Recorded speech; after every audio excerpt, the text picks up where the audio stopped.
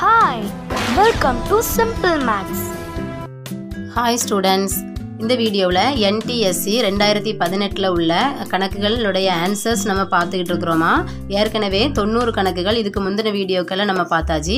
அந்த கணக்குகள் வேணும் அப்படின்னா கீழே டிஸ்கிரிப்ஷன் பாக்ஸில் லிங்க் இருக்குது. அதை டச் பண்ணி நீங்கள் பார்த்துக்கலாம் ஓகேவா இப்போ நம்ம இந்த வீடியோவில் தொண்ணூற்றி ஓராது கணக்கு பார்க்கலாம்.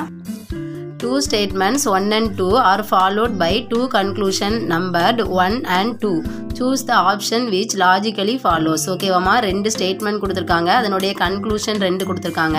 இதில் எதுலாம் ட்ரூ எதுலாம் ஃபால்ஸ் அப்படிங்கிறத நம்ம கண்டுபிடிக்க போகிறோம் ஓகேவா சம் கோட்ஸ் ஆர் சீப்ஸ் அதாவது சில வெள்ளாடுகள் செம்மறி ஆடுகள். ஓகேவாமா next all sheeps are cows அதாவது எல்லா செம்மறி ஆடுகளும் பசுக்கள்னு கொடுத்துருக்காங்க.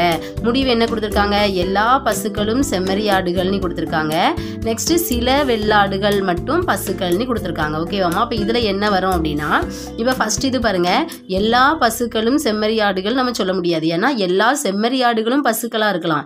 ஆனால் எல்லா பசுக்களும் செம்மறி ஆடுகளும் இங்கே நமக்கு கொடுக்கவே இல்லை. ஸோ அது வந்து தவறானது.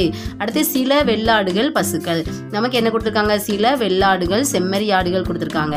இதில் உள்ள எல்லா செம்மறி ஆடுகளும் பசுக்கள் தான். ஸோ நமக்கு இந்த செம்மறி ஆடுகளுக்கு நம்ம என்ன செஞ்சிடலாம்? சில வெள்ளாடுகள் பசுக்கள்னு சொல்லிடலாம். ஓகேவா அப்போ ரெண்டாவது உள்ளது மட்டும்தான் உண்மை. அப்போ செகண்ட் ஒன் தான் ஆன்சர் ஓகேவாமா நெக்ஸ்ட் அடுத்த சம் பாருங்க.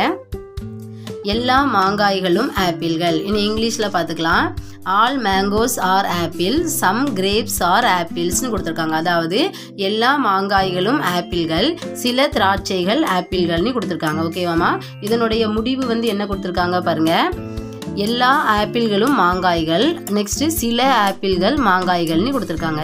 என்ன கொஸ்டின் எல்லா மாங்காய்களும் ஆப்பிள்களாக இருக்கலாம். சில திராட்சைகளும் ஆப்பிள்களாக இருக்குது. ஆனால் நம்ம எல்லா ஆப்பிள்களும் மாங்காய்கள்னு என்ன செய்ய முடியாது? சொல்ல முடியாது. அப்போ சில ஆப்பிள்கள் மாங்காயாக இருக்கலாமா? கண்டிப்பாக இருக்கலாம். எல்லா மாங்காயும் ஆப்பிள் தான். ஆனால் சில ஆப்பிள் திராட்சைகள் ஆப்பிள்கள்னு கொடுத்துருக்காங்க. அப்போ இதில் சில ஆப்பிள்கள் எப்படி இருக்கலாம்? மாங்காயாக இருக்கலாம். ஸோ இதுலேயும் ரெண்டு மட்டும்தான் கரெக்டு அப்போ ஆன்சர் வந்து த்ரீ செகண்ட் மட்டுமே உண்மை. ஓகேவா நெக்ஸ்ட்டு தொண்ணூற்றி மூணாவது சம் பாருங்கம்மா. The number of triangles in இந்த ஃபிகரில் வந்து எத்தனை ட்ரையாங்கிள்ஸ் இருக்குது அப்படின்னு சொல்லி கேட்டிருக்காங்க. ஓகேவா எத்தனை முக்கோணங்கள் இருக்குதுன்னு கேட்டிருக்காங்க. இப்போ இதில் நம்ம இருக்கிற முக்கோணங்கள் கவுண்ட் பண்ணலாம். ஒன்று ரெண்டு மூணு நான்கு ஐந்து ஆறு ஏழு எட்டு ஒன்பது பத்து. ஓகேவா நமக்கு தெரிஞ்சு பத்து முக்கோணங்கள் இருக்குது வேற ஏதாவது பெரிய முக்கோணமாக எடுக்க முடியுமான்னு பாருங்க. முடியாது. ஓகேவாம்மா வேற எந்த முக்கோணங்களும் நம்ம எடுக்க முடியாது. ஸோ நமக்கு ஆன்சர் வந்து என்னது? பத்து தான் ஆன்சர் ஓகேவா நெக்ஸ்ட் அடுத்து தொண்ணூற்றி நான்காவது சம் பாருங்க. Two positions of dice are shown below how many points will appear on the opposite to the face containing ஃபைவ்னு கொடுத்துருக்காங்க. ஓகேவாம்மா இப்போ இதில் ஒரு பகடையின் இரண்டு நிலைகள் கீழே கொடுக்கப்பட்டுள்ளன. ஐந்து என்ற முகமதிப்பு உள்ள பக்கத்திற்கு எதிரே உள்ள பக்கத்தில் உள்ள புள்ளிகள் எத்தனைன்னு கேட்டிருக்காங்க ஓகேவாமா இப்போ இந்த பகடை கணக்குகளுக்கு வந்து நமக்கு மூணு கண்டிஷன் உண்டு ஓகேவா? இப்போ இதில் வந்து இது எப்படி இருக்குது அப்படின்னா இங்கே ரெண்டு இங்கே ஒன்று அதே போல் இங்கே ரெண்டும் இங்கே ஒன்றுமா இருக்குது ஓகேவாமா இப்படி ரெண்டு பக்கங்கள் சமமாக இருந்தது அப்படின்னா இந்த மூணாவது பக்கங்கள் கண்டிப்பாக ஆப்போசிட் எதிரே தான் இருக்கும் ஓகேவாமா அப்போ இங்கே வந்து நமக்கு என்ன கொஸ்டின் எடுக்காங்க ஐந்து என்ற முகமதிப்புள்ள. அப்போ ஒன்று ரெண்டு மூணு நாலு ஐந்து ஓகேவா? இங்கே ரெண்டு இருக்குது இங்கே ஒன்று இருக்குது அதே போல் இங்கேயும் ரெண்டு இங்கேயும் ஒன்று இங்கே ரெண்டும் சேமாக இருக்குது அப்போ மூணாவது பக்கம் ஆப்போசிட்டாக இருக்கும். அப்போ ஐந்துக்கு எதிர்பக்கம் உள்ளது என்னது? நான்கு. ஈஸியாக கண்டுபிடிச்சிடலாம். ஓகேவா நெக்ஸ்ட் அடுத்த சம் பாருங்கள் which digit will appear on the face opposite to the face with number ஃபோர்னு கேட்டிருக்காங்க. நான்குக்கு எதிரே உள்ள பக்கம் வந்து என்னது? இப்போ இந்த சம்மில் வந்து என்னதுன்னா ரெண்டு பக்கங்கள் சமமாக இருந்துச்சு. ஆனால் இங்கே பாருங்க ஒரே ஒரு எண் மட்டும் தான் சமமாக இருக்குது ஓகேவாமா ஸோ நம்ம இதை எப்படி எழுதணும் அப்படின்னா கடிகார திசைக்கு எதிர் திசையில் எழுதணும். ஓகேவாமா அந்த எந்த நம்பர் சேமாக இருக்குதோ அந்த நம்பரை வந்து கடிகார திசைக்கு எதிர் திசை. அப்போ இதில் என்ன வரும்? ஒன்று அடுத்தால ரெண்டுன்னு கிடைக்கும். ஓகேவா அடுத்தது இங்கே நம்ம போடும்போது மூணுக்கு அடுத்தால ஐந்து கமா ஆறு. ஓகேவா இப்போ இந்த எண்கள் வந்து எப்படி இருக்கும் அப்படின்னா ஆப்போசிட்டாக இருக்கும். நமக்கு கணக்கில் வந்து என்ன எந்த நம்பர் கேட்டிருக்காங்க? நான்குன்னு கேட்டிருக்காங்க. இப்போ ஒன்று ரெண்டு மூணு ஐந்து ஆறு. நாலுங்கிற நம்பர் மட்டும் தான் இல்லை. அப்போ அந்த எண் எதுக்கு ஆப்போசிட்டாக இருக்கும் அப்படின்னா இந்த ஒரே மாதிரி இருக்கிற நம்பருக்கு ஆப்போசிட்டாக இருக்கும். ஓகேவா அப்போ எதிரே உள்ள ஆ, நான் எண் வந்து என்ன அப்படின்னா மூன்று. நெக்ஸ்ட் கொஸ்டின் மலையாளம் என்ற வார்த்தையின் கண்ணாடி பிம்பம். கண்ணாடி பிம்பம் அப்படிங்கிறது என்ன அப்படின்னா mirror image ஓகேவாமா fine the mirror image of மலையாளம்னு கொடுத்துருக்காங்க. இப்போ இந்த கண்ணாடி பிம்பம் அப்படின்னாலும் சரிதான். அல்லது நீர் பிம்பம். என்னது கொடுத்தாலும் நான் ஒரு பேப்பர் பின்னாடி ரஃப் பேப்பர் இருக்கும். அதை நீங்கள் யூஸ் பண்ணி நீங்கள் ஈஸியாக கண்டுபிடிச்சிடலாம். ஓகேவாமா இப்போ நான் ஒரு ரஃப் பேப்பர் எடுத்துக்கிறேன். இப்போ இதில் வந்து இங்கே கொடுத்துருக்கிறத நான் அப்படியே எழுதுறேன். ஓகேவாமா என்ன கொடுத்துருக்காங்க பாருங்கள் Malayalam. M A L A Y A எல்ஏஎம்னு கொடுத்துருக்காங்க ஓகேவா இதை நான் என்ன செய்கிறேன் கொஞ்சம் டார்க்காக எழுதுகிறேன் ஓகேவாம்மா கொஞ்சம் அழுத்தமாக நான் எழுதிக்கிறேன். எழுதிட்டு இப்போ இது வந்து நமக்கு என்ன கொஸ்டின் கேட்டிருக்காங்க அப்படின்னா கண்ணாடி பிம்பம். கண்ணாடி அப்படிங்கிறது நமக்கு நமக்கு முன்னாடி இருக்கும் ஓகேவாம்மா நீர் பிம்பம்னா நமக்கு கீழே இருக்கும். ஸோ நம்ம பேப்பரை நம்ம என்ன செய்யணும் அப்படின்னா கீழே நோக்கி ஃபோல்ட் பண்ணணும். நீர் பிம்பம்னா இது வந்து கண்ணாடி பிம்பம். ஸோ நம்ம பேப்பரை வந்து இந்த மாதிரி ஃபோல்ட் பண்ணிக்கணும்.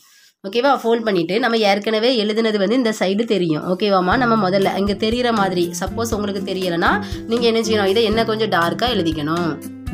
ஓகேவா? இப்போ நம்ம கண்ணாடி பிம்பம் அதாவது மிரர் இமேஜுங்கிறதுனால நம்ம இப்படி ஃபோல்ட் பண்ணியிருக்கோம் ஃபோல்ட் பண்ணிவிட்டு நமக்கு தெரிகிறத நம்ம சிம்பிளை வந்து நம்ம அந்த இதை அப்படியே வரைகிறோம் ஓகேவாம்மா?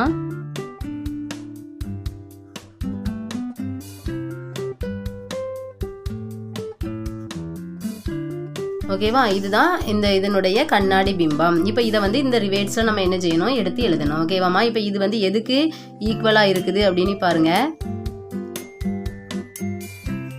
இதை கரெக்டாக நீங்கள் வச்சு பார்த்தீங்க அப்படின்னா தெரியும். இதில் எல் வந்து டிஃப்ரெண்ட்டாக இருக்குது.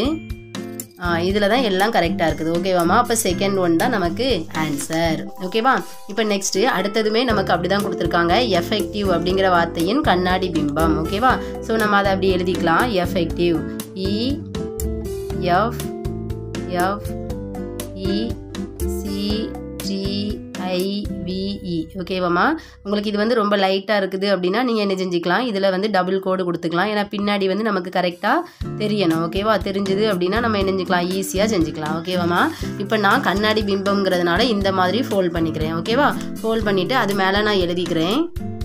இப்போ நான் அதை நான் கரெக்டாக எழுதியிருக்கிறேன் பாருங்கம்மா. இப்போ இது எதுக்கு பொருந்துது அப்படின்னு சொல்லி பார்க்கலாம். ஓகேவா இப்போ பாருங்க. E, இவிஐடிசிஇஎஃப்எஃப்இ e, e. இது ஃபஸ்ட் இதுக்கே நமக்கு பொறுத்துது ஓகேவாம்மா வேணால் நீங்கள் அடுத்தது வேணால் செக் பண்ணி பாருங்கள் இங்கே இ இந்த மாதிரி இருக்குது. இங்கே எப்படி இருக்குதுன்னு பார்த்துடுங்க. ஓகேவா அடுத்தது இது வந்து தப்பாக இருக்குது ஓகேவாம்மா ஸோ நமக்கு தேர்ட் ஒன்றும் நமக்கு பாருங்கள் எஃப்எஃப்இசி டி வந்து தப்பாக இருக்குது மாறி இருக்குது. அதே போல் இங்கேயும் இந்த எஃப் மாறி இருக்குது. ஓகேவா ஸோ ஃபஸ்ட்டு ஒன் தான் நமக்கு ஆன்சர் ஓகேவா நெக்ஸ்ட் இதுலேயும் நமக்கு லாஸ்ட்டில் கொடுத்துருக்காங்க. இதுவும் கண்ணாடி பிம்பம் தான் கொடுத்துருக்காங்க. என்ன வேர்டு கொடுத்துருக்காங்க அப்படின்னா மேகசின் ஓகேவாம்மா ஸோ அதையும் நம்ம எழுதிக்கலாம். M A G A Z I N E ஓகேவா இப்போ இதுவும் நமக்கு கண்ணாடி மிரர் அப்படிங்கிறதுனால. சாரி நான் இந்த சைடு எழுதிட்டேன். ஒன்றும் பிரச்சனை இல்லை. நம்ம என்ன செய்ய போகிறோம் இதை ஃபோல்ட் பண்ணி மறுபடி இதை மறுபடி இங்கே எழுத போகிறேன் இதுதான் மேகசின் இதனுடைய கண்ணாடி பிம்பம். இது எதுக்கு மேட்ச் ஆகுதுன்னு பாருங்கம்மா. இப்போ இதில் வந்து இது தப்பாக இருக்குது.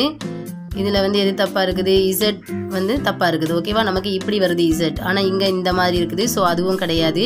இப்போ இதில் வந்து ஜி வந்து இங்கே வருது. நமக்கு மாறி வரும்போது இங்கே மூணாவது எழுத்து தான் ஜின்னு வரணும். ஓகேவா ஸோ இதை பாருங்கள் இது நமக்கு கரெக்டாக இருக்குது. A Z I N E e. ஓகேவாம்மா அப்போ நமக்கு இதுக்கு ஆன்சர் நமக்கு என்ன அப்படின்னா ஃபோர்த் ஒன் தான் நமக்கு ஆன்சர் ஓகேவா அப்போ இந்த மாதிரி கண்ணாடி பிம்பம் கேட்டாங்க அப்படின்னா எழுதிட்டு நமக்கு கண்ணாடி வந்து நமக்கு முன்னாடி இருக்கும். ஸோ இப்படி ஃபோல்ட் பண்ணணும் ஓகேவா அடுத்து நீர் பிம்பம் கேட்டாங்க அப்படின்னா நீர் பிம்பம் வந்து ந- நமக்கு நமக்கு கீழே தான் இருக்கும். ஸோ நம்ம இப்படி ஃபோல்ட் பண்ணி அதை எழுதி பார்த்துக்கலாம். நெக்ஸ்ட்டு தொண்ணூற்றி ஒன்பதாவது சம் பாருங்கம்மா. If a clock shows six forty five AM what is the angle between the needles ஓகேவா அதாவது அந்த கடிகாரத்தில் ஆறு நாற்பத்தைந்து ஏஎம் எனும்போது கடிகார முட்கள் ஏற்படுத்தும் கோணம் என்னன்னு கேட்டிருக்காங்க. ஓகேவாம்மா இப்போ இந்த மாதிரி ஒரு டைம் கொடுத்து அந்த கோணம் இது வந்து எல்லா கொஸ்டின்லேயுமே ஒரு கொஸ்டின் இருக்குது. ஓகேவாம்மா அப்போ இதுக்கு ஒரு ஃபார்முலா இருக்குது. ரொம்ப ரொம்ப ஈஸியானதான் மாடலஸ் ஆஃப் போட்டுட்டு thirty hours minus eleven by two minutes ஓகேவா இதுதான் அதனுடைய ஃபார்முலா ஓகேவாம்மா ஹார்ஸ் அப்படிங்கிறது வந்து இதில் உள்ள மணி மினிட்ஸுங்கிறது இதில் உள்ள நிமிடம் ஓகேவா அதை நம்ம இதில் அப்ளை பண்ணலாம். முப்பது இன்று ஆறு மைனஸ் பதினொன்று பை ரெண்டு இன்று மினிட்ஸ் வந்து நாற்பத்தைந்து ஓகேவா அப்போ இதை பெருக்கினா என்ன வரும்? ஆறு மூணு பதினெட்டு நூற்றி எண்பது மைனஸ் இதை வெட்டு கொடுக்கலாம். இரு ரெண்டு நாலு இரு ரெண்டு நாலு புள்ளி ஐந்து. ஓகேவா அப்போ இருபத்தி ரெண்டு புள்ளி ஐந்தையும் பதினொன்னையும் நீங்கள் பெருக்கலாம். பெருக்கினா நமக்கு என்ன கிடைக்கும் அப்படின்னா இரநூற்றி நாற்பத்தி ஏழு புள்ளி ஐந்துன்னு கிடைக்குது. ஓகேவாம்மா இப்போ பெரிய எண்ணிலேருந்து சிறிய எண்ணெய் கழிக்கலாம். மாடுலஸ் இப்போ மைனஸ் வரும். இரநூத்தி நாற்பத்தி ஏழில் நூற்றி எண்பது போனால் என்ன வரும்னா அறுபத்தி ஏழு புள்ளி புள்ளி ஐந்து ஓகேவாம்மா இப்போ இதை நீங்கள் எப்படி கழிக்கணும் அப்படின்னா நூற்றி இரநூற்றி நாற்பத்தி ஏழு புள்ளி ஐந்து நூற்றி எண்பது புள்ளி ஜீரோ ஓகேவா இந்த மாதிரி நீங்கள் போட்டு கழிச்சிங்கன்னா அறுபத்தி ஏழு புள்ளி ஐந்துன்னு கிடைக்குது. இந்த மாடுலஸ் எதுக்கு போடுறோம் அப்படின்னா இதில் வந்து ப்ளஸ் வேல்யூ வந்தாலும் மைனஸ் வேல்யூ வந்தாலும் நமக்கு ப்ளஸில் தான் எடுத்துக்கணும். ஸோ நமக்கு கோணம் வந்து என்னது? அறுபத்தி ஏழு புள்ளி ஐந்து டிகிரி இந்த நான்காவது தான் நமக்கு ஆன்சர் ஓகேவாம்மா நெக்ஸ்ட்டு லாஸ்ட் கொஸ்டின் மேட்டில் ஹண்ட்ரடாவது கொஸ்டின் பாருங்கள் A ladder landing against a vertical wall makes an angle of 60 with the ground. If the foot of the ladder is 3.5 meter away from the wall, the length of the ladder is எவ்வளோன்னு கேட்டிருக்காங்க. ஓகேவாமா அதாவது ஒரு ஏணி வந்து செங்குத்தான சுவரில் செங்குத்தா ஒரு சுவர் இருக்குது இதில் வந்து ஒரு ஏணியை வந்து சாய்த்து வச்சுருக்காங்க. ஓகேவா எவ்வளவு? தரையில் வந்து அறுபது டிகிரி. இந்த தரையில் வந்து அறுபது டிகிரி ஏற்படுத்துகிற மாதிரி. ஓகேவாமா ஸோ இதில் வந்து அறுபது டிகிரி போட்டுடலாம். அதன் அடி சுவரில் இருந்து எவ்வளவு தூரத்தில் இருக்குதான் ஏணி? மூணு புள்ளி ஐந்து மீட்டர். ஓகேவா? உள்ளதெனில் ஏணிய நீளம். இந்த இடம் என்னன்னு கேட்டிருக்காங்க. சரியாம்மா? இப்போ இதில் நமக்கு இது ஒரு செங்கோண முக்கோணம். சுவருங்கும் போது செங்குத்தாக. ஸோ இதில் வந்து ஒரு செங்கோண முக்கோணம் கிடைக்குது. செங்கோணத்துக்கு எய்த்தால இருக்கிறது கர்ணம். ஓகேவா? அதாவது ஹைப்போதிசிஸ் அடுத்தால கீழே இருக்கிறது வந்து அடிப்பக்கம் அதாவது பேஸ் ஓகேவாம்மா? அப்போ கர்ணமும் அடிப்பக்கமும் வர்ற மாதிரி உள்ள ஃபார்ம்லாம் நமக்கு என்ன அப்படின்னா? காஸ் தீட்டா ஓகேவா? காஸ் தீட்டா ஈக்குவல் டு நமக்கு என்னது?